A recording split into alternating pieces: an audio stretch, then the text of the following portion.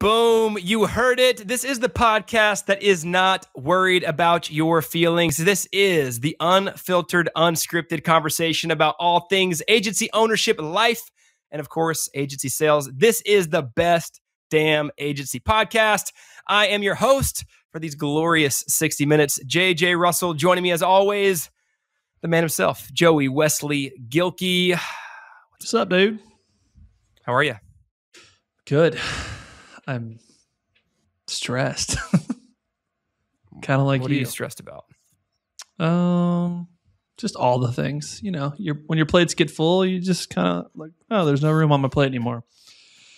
Mm. But uh, all good things. All, all um, white male, wealthy, privileged things. Perfect. Are you uh, are you feeling your fragility yet? My fragility? I don't have fragility. there is no such thing in my world. Okay, well, I, so I've got a couple questions to kick this off. One of them I was Okay. thinking about. I went for a walk. I was out there Good. just dr- dreaming, thinking for this podcast specifically, and um, I know that we're we're like a hundred something episodes in, and so my question was, um, for those who are listening, who've been listening with us for hundred plus episodes, or who just maybe started listening for the first time, we we you know we label ourselves as the only podcast not afraid to hurt your feelings, the no bullshit you know conversation about life, Yeah. sales, whatever. What is your hope for the people listening to this podcast that they would ultimately get from this? Uh, my hope is uh, that you don't live a life of silent desperation. And what I mean by that is, I think oftentimes people don't have a very clear path forward. They don't have good mentors, they don't have good advice, and they're just kind of stuck in the way of doing things. And I hope that when they listen to this podcast, um, whether it be through entertainment, education, or whatever, that they would that there'd be a little bit more clarity moving forward in life. Whether it's just one thing they Mm. need to do different, one tactic they need to try, one strategy they need to implement. My hope is that uh, you have purpose behind what you do, and what we do helps you give a little more clarity behind that purpose. So that, that'd be a good, you know, off the top of the head. That's the top of the dome thought, but it's pretty solid. Yeah, you have Yeah. that written down. Is that like on a? It's on a teleprompter on the other side of the yes, screen. my uh, my teleprompter that I use for all 150 episodes. Your wife is sitting there holding up uh, like giant note cards of what you need to say next. Yes, like everything we've ever said has been scripted, like sex robots and oh, I thought you weren't going to say sex robots again on the I show. I could say sex robots. I just might not play with them anymore. I'm kidding. I'm totally kidding. I just won't go into a deep dive on what we, you know. That's it's actually our new company. it's Yeah. actually Oh my gosh. Scale We artificial only Build intelligence. sales operations for sex robot companies. That's right. That's right. vertical. What about you? What do you it. think? Um Yeah, I think you might have said a lot of these things. Mine was about like you, I think you said cutting through the noise. It's like there's a thousand people out there telling you what you should think. Yep. I think all of those things result in you being a mediocre sex robot. Totally. Robot. Um, I have massively benefited from thinking for myself and thinking for myself. And I think, you know, the ability to come to my own conclusions, not be overly afraid to offend and hurt feelings, but really, I mean, like with empathy and tact and those kind of things, but ultimately, like to come up with core convictions and beliefs and things that I believe Yeah. are true, and then not be afraid to speak those things. I think that that's what I would hope for people that are listening, and so like that pertains to business. Um, come up with some founding principles. Yeah. Maybe it's sales. Like maybe you need to believe that sales can work for you, and you just need to commit to some basic principles. But also in life, like what are those things that are that are the foundational pieces of what you're doing on a day to day basis that are that are true to you and true for Mm-hmm. you, and not something that somebody else is spoon feeding you. Well, I think like don't take things at face value. You know, we had talked about uh, a long time ago. We we like threw out an idea of doing a podcast called "Question Everything." Oh yeah, I like that one. I still like that idea. Maybe we'll do it one day. But um, What if That's not- question everything was a weekly segment of our other podcast idea. Ooh, that's a cool idea. The I like question that. everything. We can't even get I to like either because we have no time in our life. But nonetheless, whenever we do, yeah, question everything. I think that's important. I think that you need to be able to think for yourself, like you said, and develop and formulate convictions. And even things that you feel strong on, you should question things around them. Because people are like afraid of questioning, like being Christians, right? Or being people of faith. Like we have this Mm. fear of questioning our faith. And I think that questioning dude. all it does is it solidifies and it strengthens your convictions because if you if you if you avoid questioning then you always have this feeling of doubt or uncertainty in the back of your head Mhm. but when you attack questioning head on you run those things to ground and if you come out the other side still believing that which you thought you believed in the front end then that conviction is that much stronger Can I give you a perfect example? totally So I have worked at mega churches yes and I have stood in the auditorium with the thousands of people and the rock music and the lights and the compelling vision casting pastor on stage and all of the things. totally Fast forward a few years, I have none of those things. yes and I'm not a part of any of those things. Um, and so I had this picture in my head of like what this transition that's happened to me as it pertains to my beliefs uh, and like you know my faith. And it's like, well, you pull away the lights and the music and the sound, and you pull away the crowd emotion. and the chairs and the emotion and the speaker and all the things, and all I am left with is myself in a dark room and what I do or don't believe to be true. Um, it is a lot easier to believe something when there is all the momentum in the world and all of the collective groupthink in the world, like chanting that that thing is correct. hmm But when but when you get locked kind of in a room by yourself and you're forced to wrestle with really hard questions, it is both an incredibly uncomfortable place to be, but probably the actual place that you need to be to solidify whether or not you believe those things or you just wanted to fall in with the crowd who said they did. right where'd you come out on the So- other side of that That's a great question. Still figuring it out. I no, dude. I, yeah, I'm I'm wrestling in like the best Oh. way, but I um, you said it really well. Like, so I have professed faith in Mhm. Jesus for twelve years, maybe, maybe thirteen. Me too. No, Um, me too. and I think even, part of that story for me was this wrestling with like, is there any way there's really a God? Like, is that actually possible? You know, like Yes. And I came to the conclusion that it was, but I came to that conclusion alongside of a lot of other people that really passionately believed the same thing, right? Yes. Um, 13 years later, I still have those questions. They've just been drowned out by all the by all the noise, right? And so now that the noise is gone, the questions are still there, and I think I'm I'm being forced to wrestle with like, what does me and God, what does me and God in the dark room, you know, like when it's just the two of us look like? And it's an Yeah. uncomfortable question. Is he there? Is right. he is listening? Uh, Hundred percent. sorry, Am I, did my screen freeze? Yeah, but your voice didn't. You're good. I think what happens is for whatever reason, my phone's not connected to the Wi-Fi, but when I get a text message, my uh, the EMF that runs off your phone interrupts the. Wi-Fi. You need Ethernet, maybe. Anyways, keep going. It's a good thread. Anyways, This isn't a faith podcast. but Yeah. It's probably something we all wrestle through in some way, shape, or form. So it's good. okay, so somebody called this to me recently, uh, "Faith in the Wild." Mm, I like, Like, it. what does faith? What's faith in the wild look like? And I've like a book seen it now. uh, what's his name? John Eldredge would write or something. Yeah, wild at heart, faith in the wild.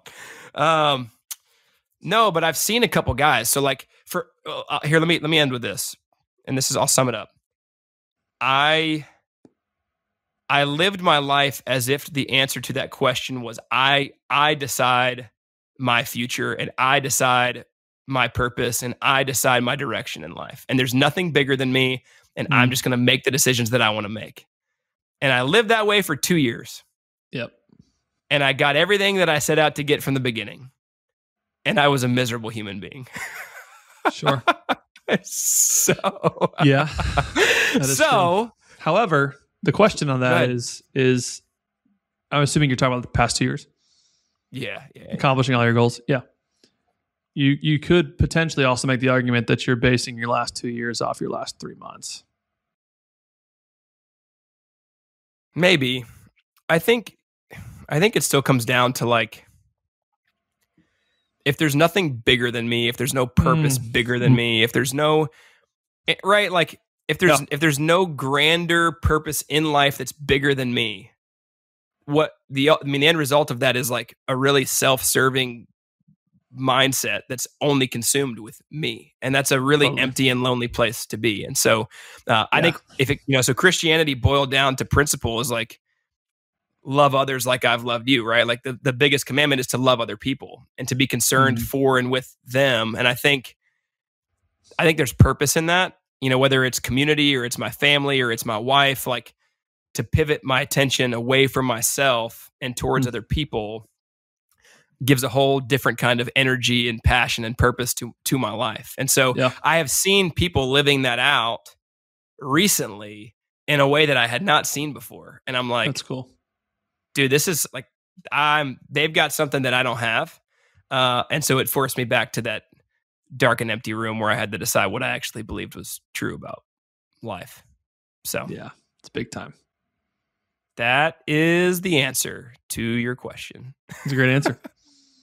I'm still wrestling myself, so You have a barn thoughts. you can go to. It's a good dark room. you have a what? A barn? Yeah, goes. What was what was I doing? I s- s- scream expletives into the, into the ethos. I, I have not tried that yet, at least to that magnitude, and I think that I need to go scream some expletives into the universe. Um, What'd you say? You just had to. You just had to say "I quit" one time out loud just to say it. yeah, See, I came upstairs. I had just I just hired somebody, fired somebody, talked to a disgruntled client, and then had somebody else on our team shit on the work that I spent the last three months doing. And I walked upstairs and I told my wife, I said, I don't mean this, but I'm gonna say it really loud one time. I fucking quit. I get it. I get it. Uh, I've said that about my own company, so I'm sorry. here's what it is. We're not the only we're not the only people that have ever been through them. So No, and we're only just playing business. Grand scheme of things, it's a it is game. Playing a game, Mm. and you can get off the game board anytime you want. But It's true. it's a game. Tell me this then. We're gonna pivot, but not super hard. Um, we are friends. We work together. hmm You run sales. hmm I run delivery. Yes. when when do things break? Like when when do we fight? when do we when do we find ourselves in your barn screaming at each other instead of the universe and wrestling in the in the mud? Uh, I don't know. I don't think you really do. I mean, I think that there's a level of humility when you work with family or friends that you have to possess on both sides of the equation, or both variables in the equation, I should say. Um, I don't know. I think it's uh, one. It comes down to. I mean, we're lucky that we have like meeting structures and process and accountability and employees that are all doing different things, and so yeah, there's like the ever ever tense uh, or ever present tension, if you will, of um, sales pushes the boundaries of delivery. And simultaneously, delivery can also dictate sales in some ways. Like for us, we had a Sorry. guarantee. We realized that the guarantee made for the worst types of clients, which made selling harder. And so, and now we're in that. So, like, there's always this tension of you're trying to, you're all part of the same mission and goal, but you're also each fighting to like be able to do your job excellently without boundaries. It's a lot like marriage. Not to just keep this illustration going, but like my wife's home with the kids all day. I'm like, Mhm. babe, you literally get to take naps whenever the baby sleeps. Like, I don't want. We had an argument the other day because I, I was like, I'll say that sounds I'm like, like- a fight I don't want to have. well, and uh, she basically was giving me a hard time for like laying on the floor after bedtime or after dinner time. I was like, I'm exhausted. I just laid down in the middle of the living room and like wasn't helping with anything, which probably wasn't the best thing to do. Sure. I'm like, but you take naps all the time. so It's true. My There's a wife's probably taking a nap right now. And so there's a world where like just like with her we're both kind of like angling for our own space and our own objectives and goals and stuff. It happens in business too, but it can work. It does. That's the hard part. The can good work. thing is, is if you have a good relationship, you have accountability, you have like I think the good thing too is neither of us are ever going to not speak our mind. Like that's one reason why like my wife and I like we have some explosive conflicts, or at least historically we have. And um, but the good thing is, is we get them all out there, and you know where the person stands. It's it's why like equating this to like our sales process where we have like a roadmap that diagnoses where they're at. Mhm. It's like if you don't know and you can't put a pin in the map of where your potential client is, and they don't know where they currently are, or vice versa, then it's hard to put together an actual turn by turn that gets you where you want to get to Yep. right? Because it's Yep. like if you don't know where you're at and you're like, take your first left, it's like, yeah, but am I in Florida taking a left or am I in Texas? Because that's going to end me in two different places. For sure. And so I think that's the good thing too is if we're always communicating and and having that that thing, then we understand where people are at and we can deal with things as they come because we're at least aware. It's when the it's when Love you it. have things that are like fuming, Built up over time. built up, swept under the rug. That's why, like, I think passive couples, though they fight less, are typically the ones who you end up seeing get divorced. They're, they're yeah, because they secretly are just harboring like this. Yeah, they're harboring of- issues. It's- they're not yeah. any different. They don't feel any different than you do. They're just how they express it's different, and it usually doesn't lend to a very healthy marital conversation. I've got couples that I really respect that are 20 years older than me, and they're like, well, I say I really respect them. This makes me respect them less. They're like, we never fight. Yeah, it's tough. I'm like, fuck you. That's not true. That's either- say. either either your relationship's terrible or I don't know, or, Or- you're ali- you're aliens. Yeah, or you don't talk, which I guess means your relationship's terrible. No. Um, so how do we do it? I don't know. I think all the things I talked about, plus Mm. humility, plus realizing we all play very important roles, and we're just trying to do our jobs as best we can. And so, Mm. Yeah, I like ain't it. We easy We've talked a lot of existential things, uh, next level thinking. Another place that you could find some next level thinking about your sales operation and Mm, potential growth for your agency would be the sales driven agency. That's right. Sales Driven Agency brought to you. Well, this episode, I suppose, is brought to you by Sales Driven Agency. So we don't run ads on here. We don't take money from other people. We prop up our own shit because our own shit pays for this shit. The podcast that your little ears are listening to, this melodic sound of my voice. So Sales Driven Agency uh, is kind enough to sponsor this. And so Sales Driven Agency, what we do is we build out sales operations for digital agencies. So that's why we have the best damn agency podcast. We know agencies better than anyone else. I challenge you to try to challenge that thinking. But what we do at SDA is we build out a predictable, self run operation. This is a fucking terrible ad read, by the way. What's a self run? So, what happens sometimes when you go top of the dome? This is just what I do. this is great. Keep going. You're doing I'm, good. I'm doing great, guys. What is sales driven agency? We build out a sales operation. What is a sales operation and why does your agency need it? A sales operation is sales process. How do you get predictable, repeatable outcomes? Sales people. How do you hire the people, train the people, manage the people that run those processes to get you predictable, repeatable outcomes? And then finally, the last piece and pillar is sales enablement. How do you equip and enable those people to run those processes to help you run a predictable, sustainable, scalable agency that is not dependent on the agency owner to grow. I know a lot of you guys are still selling. You're the agency owner. Business is dependent upon you. If you go away, growth goes away. If you take a vacation, growth stalls. If you sell and then you get involved in delivery, your pipeline dries up. What we do is we help remove from you the the necessity uh, to grow your agency, accomplish your goals. And so work with sales driven agency and we will build out the entire sales infrastructure for you alongside of you and we'll get you out of sales while also not compromising growth uh, check us out www holy shit this is terrible www.salesdrivenagency.com oh, so good. Woo, nice was job. it though have you uh, have you seen that video of the of the reporter? it's a lady. It's a female reporter. She's standing outside of the. Uh, I think it's the Clippers stadium. Uh, and she's doing some kind of like news spot, and she has a, like a stroke on air. Holy and shit, she's like, blah, blah, blah, like her words like stop making sense. H- Ten seconds into your ad read, I'm like, what the fuck is Joey doing what's right now? here? And I, and I pictured that lady, and then I couldn't stop laughing. Oh man, Have you seen the? So there's a, that reminds me of this video of this guy who's in like middle of nowhere, South Carolina or something, and he's like reporting. It's this black reporter, and Yeah. he's like he's kind of more like put together, and he's talking, and yeah, here at this field behind me, and then a bug flies in his mouth, and he goes, "God damn it, this motherfucking godforsaken country! Why the fuck are we here?" and you're like, "Oh, that pivoted quickly." I've, I've seen. He's like, let's get out this country motherfucker. He's shit flying in my mouth. That's basically how I felt. Pollen. A fly flew in my mouth while I was doing that ad read. Yeah, if you guys want to figure out Oh. your sales shit, have salespeople selling for you, have predictable growth, come to salesdrivenagency.com. Okay, bye. We we do stuff. Tagline. All right, let's talk about sales stuff. So, let's say somebody pulled you in tomorrow. They're like, "Hey, Joey, we got a we got a sales operation. We got some salespeople. We're not really getting the results that we want.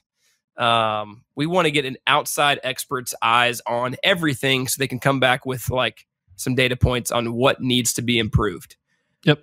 But it's it's not them. You're not coaching them on how to do it. You are coming in to do this assessment. Where would you start? What data would you want to see? Like, what would give you the quickest read on what needs to change? About an existing sales operation. Mm-hmm. Yeah, So we're assuming they've tried building something, they have stuff. they've got stuff. Okay. Um, I probably well, I, one, I'm going to gather your market and your business. So I'm saying, hey, what's your revenue at? What's your net profit margin? Who do you serve? Like, what's the specific TAM, total addressable market? What's an average deal size? Cool, great. Uh, that'll take two minutes. After that, I'm going to say, great. Who's selling, you or salespeople? If it's you, then we're going to have a conversation. If it's salespeople, then we're going to talk about their production. After that, I'm going to ask some pretty basic questions. How long you been doing this? Um, in terms of, uh, there's a couple categories. One, I'm, I'm assuming you're asking me this because you want outbound, right? Yeah. Yep. Yeah. I'm going to ask, is anybody generating outbound leads? Period. Okay. Yes or no? Yes. Great. How many? What's the consistency? That kind of stuff. No. Why? That's where I'll start. Mm, If it's no, Okay. I'm going to say why aren't leads being started? Because at the end of the day, win rate, what you charge, all that kind of stuff doesn't matter if you don't have leads flowing in from outbound. If outbound's what you desire to to build, Okay. um, so I'll start there. If it's yes, then I'm going to say, meaning like yes, they're doing outbound. I'm going to ask questions about how much, etc. I'm going to dig into that. If it's not consistent, I'm going to ask why. Why is it not Mhm. consistent? Is the activity not consistent? Uh, is it seasonality? Like, what is the thing? Are salespeople not incentivized to do consistent work? Are they paid Mm. on certain commission structures? Whatever. Um, and then after that, I'm probably going to dive into great. If if all that's good, leads are happening, it's consistent. You have salespeople. Then I'll start jumping into what's the win rate. Okay, for outbound sales, are you doing at least a 10% conversion rate? Meaning you're Okay. closing at least one out of 10 deals. That's the bare minimum. If the answer is no, then then I know where to step in. You don't know how to close outbound Mm. sales. Okay. Um, if the answer is yes, I'm doing over 10%, then I ask where you're at, and then we just start the process of tweaking and optimizing. And so then I say, great. If the close rate's good and the lead gen is happening, then we're kind of in a good place. It's just a matter of can we lift Mhm. either of those? And so that's probably the line of thinking that I would do. I wouldn't get into like tech stack. I wouldn't get into pricing model all that much. I wouldn't get into like foot in the door offers or I just want to know those basic numbers, basic things, and then I can kind of Okay. create a strategy around that, or at least No, start like the process. a lot. Yeah, that's good. I think a lot of people probably haven't tried sales, and so their their answer is a little bit different. But if they have, I'm asking because it's I think it's important for them to know, like, okay, we're not getting results. Where do we start? What do we look at? What are the things that we would evaluate? So, So I will, I Um, will say but- if it's if leads aren't where they're at, but you're trying, then I'm going to say, cool, let's pull up in your your numbers. What's the activity? Right? You know how I do things. Are the outcomes Yeah. happening? Yes or no? If the answer is yes, great. If the answer is no, which is Mm. in this scenario, quantity. Are they just doing enough activity? Like I talked to a, they're doing like 12 million. Talked to me the other day. They've they're making a hundred. They have six salespeople. They're doing a hundred dials per week for the whole team. And they're doing a lot of emails and their their email Yeah. open rates are dropping because they're sending too many emails. They have a, a deliverability issue etc so you look under the hood you can start asking those questions. But one they're just not even like 100 dial i have one sdr can do 100 dials a day. Mm, so one you're just not doing enough in this particular category. And then two you know your email or you're having an email issue because you're sending too many emails from your domain that aren't getting open which hurts your deliverability which hurts your open rate in the future and it's a twisted cycle and so right there if they fix those two things you make more calls and you send more quality emails and or fix your deliverability issue you'll probably three to four x the team Yeah, that's really good. No, that's good stuff. So it's kind of like, are you getting some outbound appointments set or leads? Yeah. If yes, then here's track one. If you're not, then let's look at your activity, measure those things. Track two. And almost always Uh, it's an activity thing. If they're doing Yeah, enough activity, then it's like, okay, we're having actual issues with our scripts, with our emails, et cetera. And so Okay. now I did see their emails and they were hot trash, but um, we fixed those hopefully. No, that's good. Um, okay, so for a- a couple, I got some agencies I'm connected to that work in like pretty specific, you know, professional service type vertical. So that medical, but they're like doctor offices, right? That have got the doctor, maybe a uh, um, Ops practice manager. Yeah. Yeah. but then there's also like the admin or the you know whoever answers the phone or whatever. But they can't get any personal phone numbers for decision makers, so they're only getting access to like the office number. And so a good a good question would be like, do they pivot away from the phone entirely in term because they only connect with gatekeepers, or Yeah. do they stick with the phone and try to come up with a, a tactic for overcoming that? Well, before you throw it out, I would do two things. One, like the the easiest is you can find pretty much anybody's direct line. okay, Um, so I would just say it, it needs to be a data, like you need to find better data sources. So that's one. But let's just say hypothetically they can't, and they then then I think you need to start working on your strategy for the cold call itself to get past the admin. And we've Mm, talked about this like because we'll hit gatekeepers in our own cold calling, and so I think the the process is you got to realize their job is to stop you from getting back to whomever you want to get back to, right? So there's a couple strategies you could do. Um, one is you make that person an advocate for you. When they're an advocate for you, you can, at a bare minimum, extract information. Um, next level up from a bare minimum is they get you back to a voicemail, and you have at least a chance of of them hearing your voice, etc. Or you you work with them to get on the person's calendar slash get in front of them. And so, I think that's what you have to do is you have to kind of start working on how do I call into the gatekeeper and make them an advocate. I'll give you an example. So I call in and say, hey, bring, bring, bring, Sally speaking from uh, XYZ Medical Spa, whatever. Yep. Like instead of saying, hey, Sally, this is Joey with Sales Driven Agency. I'm just trying to get a hold of Dr. Smith. Right? They know the screen from that, etc. So what I would do is I would call in, Sally would answer. I'd say, uh, if Dr. Smith has a first name, hey, John, please. Uh, yeah. Can I ask who's speaking? Yeah, if you could let John know that Joey's calling, that'd be great. Okay. Uh, well, Joey, what? Who are you with? Yeah, uh, Joey with Sales Driven Agency. If you could let John know that I'm calling. Yeah. Uh, is this a cold call? You caught me, Sally. Can I just level with you? You're doing a really good job. I know this is your job. You're doing a great job of protecting John's calendar. Um, I'm going to go ahead and gather. I'm not going to get past you because you're really good at this. So let me ask you this: Who was the last person that got through to you, and how did they do it? Mm-hmm. because Um, my goal is just to talk to John. I know I can help him, but I also know that you know your job is to keep me from talking to him, even if I do have a good thing. There's a lot of people who don't have good things. So how how can I work with you here? And then you just basically turn that into a how can you become an advocate for Sally to be your advocate for your conversation with John. And so It's good. yeah, you start there. Uh, strategically speaking, if you can get to a voicemail, like oftentimes like a doctor, you're not going to be able to talk to doctors, and and I I've worked in that space before, and so if you can't get in front of a doctor specifically because they're seeing patients all day, they're not going to be able to really answer your phone call. Sure. Then you need to do strategies that allow you to maximize the callback, like Okay. so something that we've actually talked about doing is we've introduced uh, uh, SMS and voicemail drops.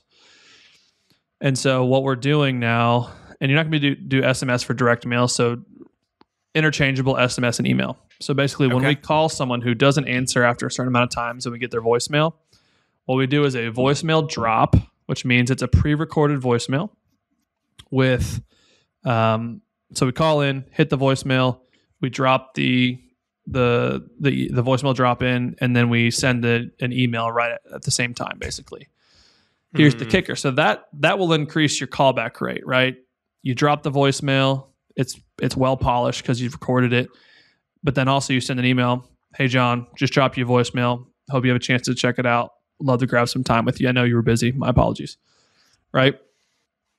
Next level to that is get creative and fun with it. What's Okay. they're getting voicemails all day long. So how do you actually drop a voicemail that's creative and fun? Well, something that we're going to start testing is w- there's uh, voiceover actors on Fiverr.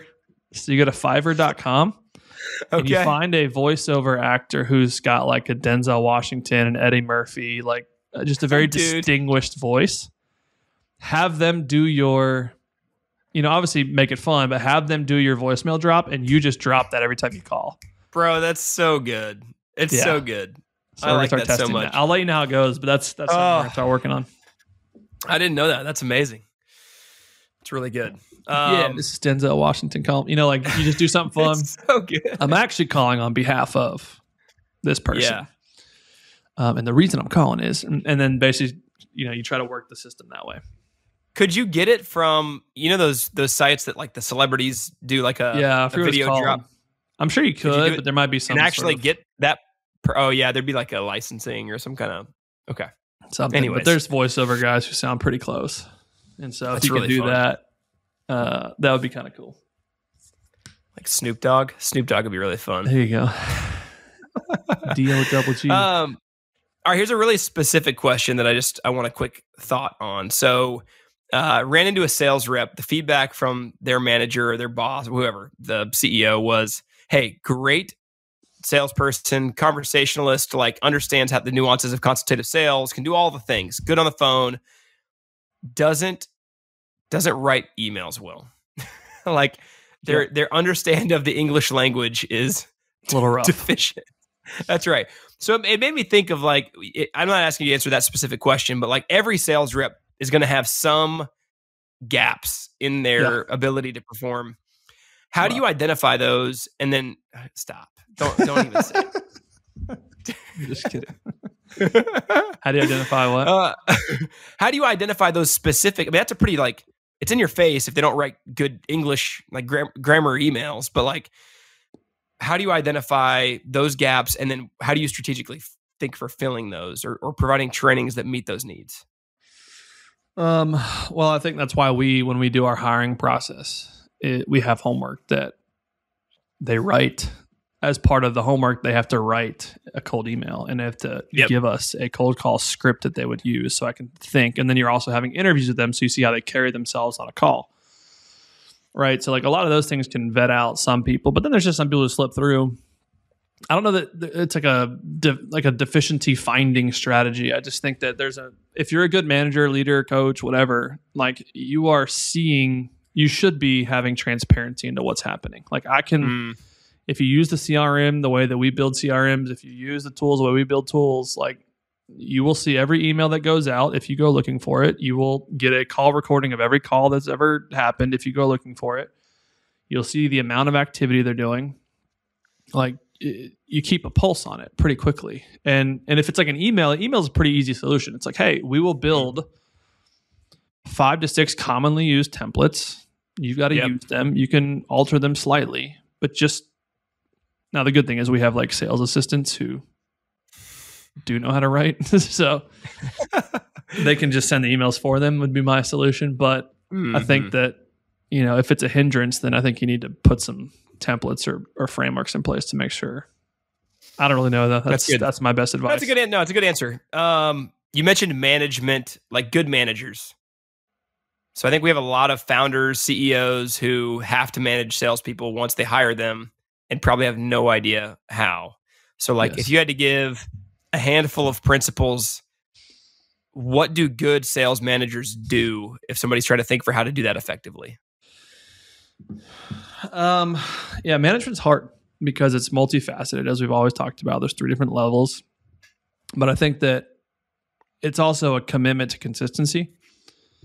Like you can't be a part, like you can't be a uh, an inconsistent manager, right? Mm, Yeah, as much as you want to like pop in when things are breaking, or you want things to always go smoothly, and you're just coming in to optimize every now and then. Like you got to realize that people, people, business. Like there's managers for projects, project management. Yep. There's management for account management. There's management for finance. Like why would you not have a regular, consistent cadence to Mhm. manage your sales team? And so if you have regular meetings and regular reviews, the difference between a meeting and a review is a meeting is with people, a review is a meeting with yourself to prepare for your meeting with people. yep. And so if you have those two elements and you're consistent and they're always on the calendar, you're at least being consistent with your touch points. Um, Mm. And then scripting out what you do in those meetings, your agenda for those meetings, the things you need to prepare for those meetings allows you to be successful. Um, and, and to be a good manager, leader, and or coach, that's the first, like that's the number one battle you got is just the consistency game. So if you can literally Yeah. just put things on calendars, you're going to be ahead of 90% of most people who call themselves founder managers. Yep. And so if you do that and you have the tools to be successful, so when I say tools, I mean like you have the dashboards that tell you your sales department or salesperson KPIs. If you have a shutdown scorecard that your salespeople have to fill out every single day, it is a requirement. If you miss three of them, I fire you. Right? Like if you have those things in place, you have most of the data you need. If you combine that with being consistent and you review the data, it's hard to mess up. Like, will you be the most Yeah. optimal, 100% perfect? No, but you'll be better than most. Like, that's where I would say people need to start instead of getting like, here's the perfect framework. It's like, have daily scorecards, have dashboards, have meetings that you meet with every salesperson at least once a week, and have reviews where you review the scorecards, the dashboards, and prepare for the meetings you have with your people And be consistent. and be consistent. Just put on the calendar, Yeah. make it recurring. You don't miss it. It's important. Hmm. It is important. It's, it's incredibly It's good. important. As you've known with a lot of our clients, like a lot of our clients, the ones who are not having the most success, we have found the biggest deficiency is their ability to manage and lead. For sure. For sure. And we are now for that. coaching them significantly better on how to be a manager. So, uh, I, so thinking about SDA, um, I was thinking about this the other day, like a few years ago, two two and a half years ago. I mean, we were fighting to be a million dollar company, right? Yep. And have since gone blown by that and have really large aspirations. Um, there are probably a lot of people listening to this who are scrapping, clawing, trying to get to a million dollars, um, but their their sights are so set on that that like their their beliefs are limited. They're not Yeah. Beyond the seven figure agency, and so uh, we've got a community of people that have blown past seven figures. They've built successful multi seven figure, eight figure agencies. Tell everybody why they would benefit eventually if they're big enough, if they're qualified Sure. to join the best damn agency. And I'll knock this ad read out quite differently. You're gonna crush this, yes. I will. So what JJ talked about is there is there's a level of secrets and and information that as you get bigger and better in whatever your category, there is information that that you possess that everyone below you typically does not. And so what we have created is the ability to have the key to go unlock that information through a community of people. And so JJ and I have assembled a community of digital agency CEOs who have accomplished a lot of what you guys who are listening to this probably want to accomplish, or you're currently accomplishing it. And You want to be around people who are also doing that because a rising tide lifts all ships. So we have built the best damn agency mastermind, which is a collective of digital agency CEOs doing between two and 20 million in revenue. And they have the information, they have the keys to success. Uh, and the things that have historically been lock and key at the top, you now have access to through proximity to these people. And we have created an environment where everyone there is a giver, no matter what level you're at. The $20 million is giving to the $2 million agency. The $2 million agency has figured out things that the $20 million agency hasn't. And they're giving each other the secrets to building a successful agency, if not the best damn agency. And so we have built this mastermind just for people like that who want to give who have things to give to their community, but also who want to receive, be sharpened, cut corners just simply by having the cheat codes, um, but also who want to be better people. It's not just about building a better business. It's not just about having more revenue and bottom line. It's about having more impact, uh, having more uh, influence on your market, influence on your home. Can you be a better father? Can you be a better husband? Can you be a better community member? If you want to be in a community of people who have done big things, who are sharing big things that you don't have access to, come join us. Check us out at www.bestdamnagency.co. Again, www.bestdamnagency.co. Check out the video, apply to have a conversation with us. There's no harm in a conversation. We'll let you know if it's potentially a good fit, and you'll know pretty quickly if this is the community you want to be a part of. It's a little better. It was fantastic. You did great. Thanks, thanks, thanks, thanks. We've done Tahoe. We're doing the Dominican. A while back, we did Scottsdale. Mm-hmm. Um, What's next, man? Uh, Antarctica. Yeah, beat him, Alaska. No, I don't know. I think. All right, wait, uh, hold, wait. I, so here, listen to this though. This premise. Have you Okay. seen the show Alone? Yes. What if we all got dropped off with eight supplies we could pick? I know a few guys who would die in the first week. and I know a few guys who would probably be living out there. I'm 200 days probably one of them. I'm one of them. Yeah, I- Oh, I'd probably dude. like if I could bring an AR-15, that'd be great. But if I had to like do other stuff, yeah, it's I'd like probably last longer because I have more like insulation and fat on me. I'd last longer. Just I could starve myself for a while and still live. oh, dude, I, I like that show a lot. I've only watched I'm one always- season a long time ago, but I'm always impressed. The guy that like saved the he saved like the moose testicles and like used the fat from the I'm like, dude, what are you doing? kills a uh, what is it the like a mongoose or some shit like that. Uh I want to say a honey badger. That's not That's right. what Wolverine. it was. A wolverine. Mm, Yeah, wolverines are it's freaking gnarly. it's insane. gnarly. All right. I mentioned the the kind of scaling past the seven figures into the multi seven figures and headed towards eight. Um, a while back, I mean, you had this kind of you you mentioned like a limiting belief, like I could never Mhm. build a fifty million dollar company or whatever. Sure.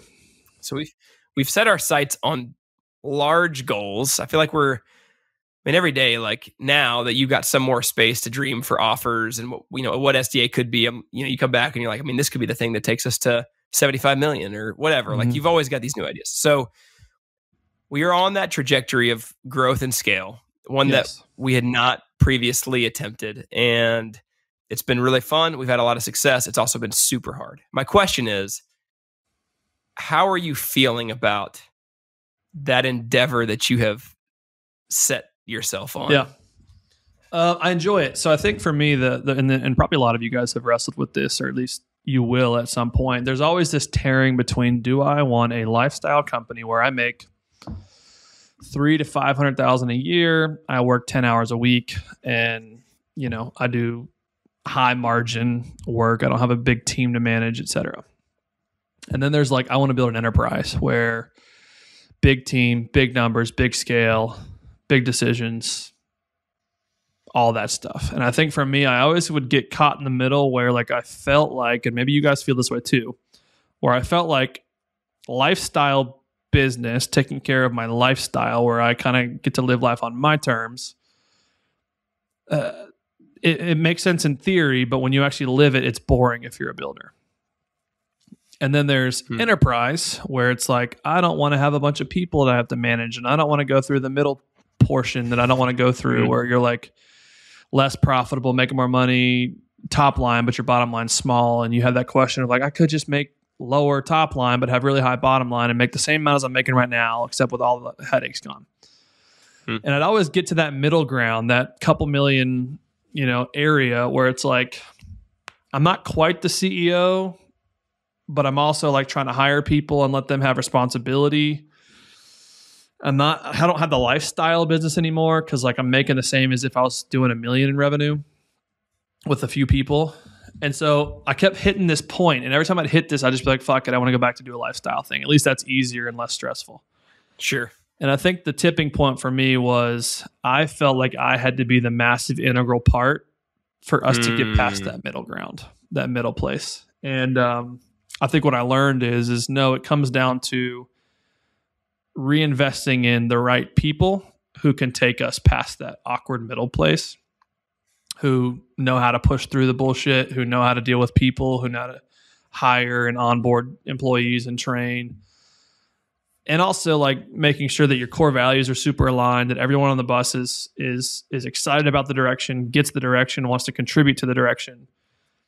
That was the big turning point for Hmm. me is realizing I don't have to be the one to get us past. Like obviously I'm integral still. I'm still very important as the CEO, but there are far better operators who know how to get you through the sludge that gets you on the other side of that where it's like, oh, now we're hitting scale and growth and and we're adding new offers and we have the freedom to do that. I'd still Guess say we're on the tail end of that. Guess who wasn't that season. person? Do what? I said, guess who wasn't that next level operator? Who? Me. You? yeah, that's for sure. Uh, but no, that's been Uh. that's been probably the biggest thing for me. And so I think a lot of you like the self limiting belief is I can't build a big company because I don't want to get past this middle thing. I don't know Mm. if I can. I'm I'm not a good manager of people. I can't hire people the right way. Well, then don't, and find the right Yeah. people who can do that, um, and be willing to to reinvest in that. Like there were, I could easily pay myself six figures a month in some months, and instead I didn't. I just paid myself my regular base salary and I reinvested in hiring the right people, and those right people went and hired the other right people, and you know, even hiring and firing, I don't have to do anymore necessarily. So I think that's the thing. Yeah, you have to do it. you have to do it for your department. oh, that was the day that I quit. Went to my wife. It's not Yeah. fun, man. Firing firing good people, like just good hearted people, is hard. They're just not the right fit. It's very unfortunate. Yep. Hold on one second. Yeah. Well, anyway, so you guys listening, don't don't let the middle ground stop you from going to Yeah. the high ground. Yeah. if that if if lifestyle business bores you, which it does for like true builders, visionaries, and creators, then you you just got to push past the middle, and that middle is going to make you want to go back to being a lifestyle business. But just know when you go back to mm-hmm. being a lifestyle business, you're going to be bored as shit. Yeah. I so I don't think I told you this, and and I didn't really plan to share this, but it just came to mind. So this was two weeks ago. I was meeting with my coach, and I'm and we had just had Taylor Welsh, uh, traffic and funnels, all the other impressive stuff. He'd came and talked to our mastermind and was like a wizard. Dude's a freaking wizard. He's amazingly smart. You know, now and every time, ah, what are y'all doing? Tell me about it. I can't talk about it yet. It's not fully. it top, stealth stealth mode? Top secret? No, he just wants help with something he's doing. Okay, all right. Well, so anytime I hear somebody like that talk about these like massive things that they're building and like their portfolio of multiple businesses and the hundreds of millions they're generating, I'm like, dude, that appeals to me. Like, I, there's Mhm. what's funny is you and I are we've looked at our. I mean, you're, you you have more of like an assertiveness than I do, but we're wired very similarly in how we think about work. Yeah. Um, I'm not quite as like massively high on the visionary scale, but I'm still Yeah, like I slant slant that way. And so I see these things, I'm like, that excites me. Like what doesn't excite me is doing the same thing for more than like three to four years. Like I just don't get excited Yes. about that at all. Yep. Or doing one thing. I'd rather do like a bunch of things and have them be really fun and set up other people to to run those things. So I asked my coach, I'm like, hey, the majority of people that I've seen that do this have terrible work life balance. Their marriages are very average. They don't get to see their kids very much. Like, help me think through this. Like, Mhm. am I, do I need to, if I'm wanting to spend a ton of time with my kids while they're young, like, do I need to reconsider the way that I've get excited about business? Right. Yeah. And he's, he's like, maybe you're just looking at the wrong people, dude. Like, okay, that's, that's a challenging idea. Um, and so he's like, well, why don't you just think of like three people that you know that have built eight figure, nine figure business portfolios, but who like you really respect their the rest of everything else they do. Well, all right, I've got a few people that I could think of, and so I call up the dude who uh, I don't want to name drop him at all because he's he's an older gentleman, but he let's say this he helped found and then ran uh, one of the largest uh, hotel chains. You would know the name if I said it Yeah. in in the in the United States, and so call this dude up. He's a family friend, and I'm like, hey man, here's where I'm at, and um, it was really good just to talk through like what do I want, how does that mesh with my principles and core values. And it is possible to scale up massive businesses and be a part of huge business portfolios and, and like do multiple things all at one time if you do it the right way. And if, if the main, like, I think what's happened for me, and we talked about this at the very beginning of the show, so it kind of comes full circle, is I've sort of just lost sight of like what is nuclearly core to me. Like, what are my core Mhm. convictions? Central. Um, I liked what I said better. It sounded cool. Nuclearly. Yeah, it's good. Yeah, yeah, yeah, yeah. Sorry. This is hey, I'm the host of this podcast. You're right. Um, You're right. so I think I've I've I've deviated even just a few degrees, but downrange that few degree deviation creates a massive separation from where you thought you would end up. Uh, and so his thing was like, dude, pursue all the things. Mhm. Like, why settle for for small? Why settle for mediocre? Like, go big, but just make sure that you're maintaining those like nuclear core convictions. And so I think I'm like halfway there.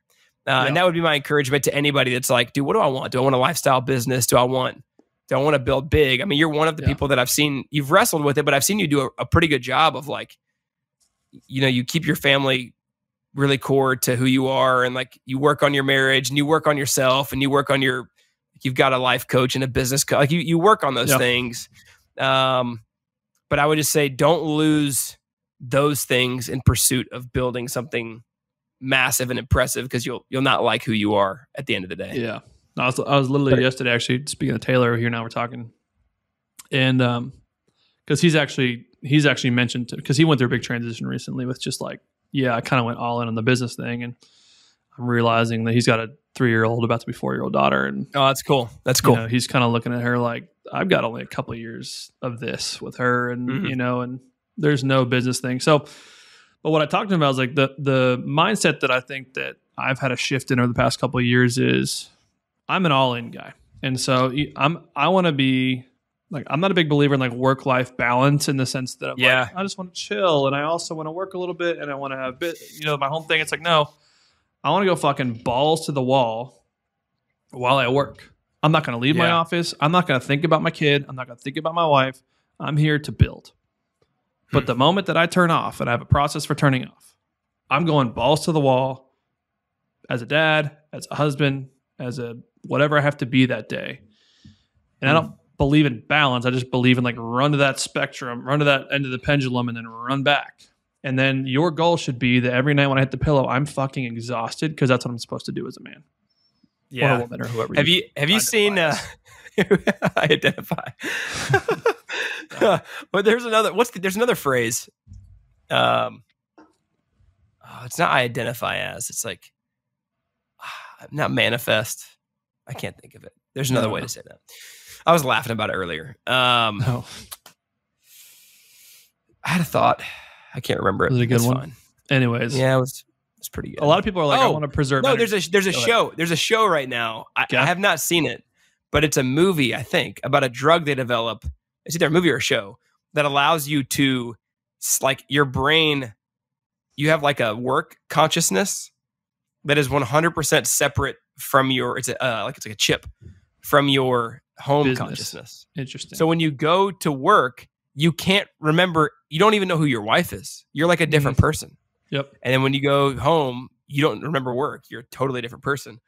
Uh, apparently, it leaves room for like lots of moral dilemmas and all kinds of things. as A good show does, but Yes, I'm sure it does. And that's, but then there's like the in between where it's like I'm thinking when I'm like thinking about what I want, I'm thinking about work in the vein of how does it affect my family. But when I'm actually in the Yes. office to to execute on that plan, I don't think about it all that much, right?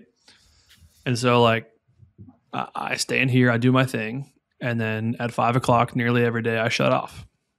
Yeah, and uh, and I've also made some rules, you know, to kind of put the boundaries on it. And it is hard, but like leave your phone plugged in somewhere else, and you can check on it once or twice a night. But when you leave the office, you go home and you balls to the wall, be a dad and a husband or a mom, Yeah. and a, and a wife, right? And so whatever your thing is, and so I just think that I think that we live in a culture where like the goal is not to put your head on your pillow and just be completely spent for the day. Like our goal is like energy preservation. yeah, Whereas I think that we should be like our however many hours we're awake 16 18 hours is all about energy depletion and then you go to sleep because you've given everything you, Mhm. you know the whole football phrase of leave it on the field kind of thing like just leave it on the field and and you will rest when you put your head down Speaking of leave it on the field, I will be at the field this Saturday Which when the one? Notre Dame Fighting Irish take on the Ohio State Buckeyes. when do you fly out Uh, it's a three-hour drive. It's not far. wait really oh ohio that's Yeah. right it's in columbus. Columbus. Yeah, yeah, yeah. yeah i'm nervous So, oh, it's going to be terrible. Actually, no it's not we're going to get our asses kicked. Yeah, no we we're are. not not with that attitude i guess with I'm going to believe that we're going to get our asses kicked because I have zero input on the outcome of the game, and then True. if they win, it'll be fantastic. So yeah that's what new I choose. I I choose that. Um, I got to go tell a guy that we were going to hire that was our second option that I really like that we're not going to hire him. So that's That what I got to go do real quick. Okay. Yeah, it's unfortunate. cool. But we'll we'll hire him for something else. But this has been fun, man. Always. Thanks for hanging out. Thanks to those of you who have hung out with us, uh, that have really kind of like rode with us through uh, the thick and the thin. Joey's shitty ad reads. We appreciate you. It was Um, it was not your best, but we will see you as always back here next week for next week's edition of the Best Damn Agency podcast. Please do us a favor. We don't need your petty favors, but if you like the podcast, rate, review, subscribe. It makes us feel good. It makes us want to come back here and keep serving you guys. Uh, we appreciate your time and attention. Until then, uh, until next week. See you later. Peace out. Question everything.